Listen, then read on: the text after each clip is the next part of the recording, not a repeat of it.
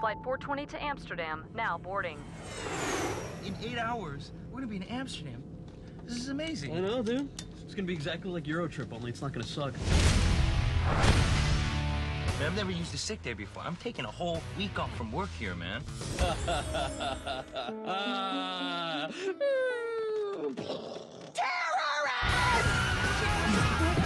Hey, what are you doing? What's up with the guy with the weird eyes? He handicapped or something? We believe he's of Korean descent. North Korea and Al Qaeda working together. This is bigger than I thought. Gentlemen, start your engines. It's gonna be a bumpy ride.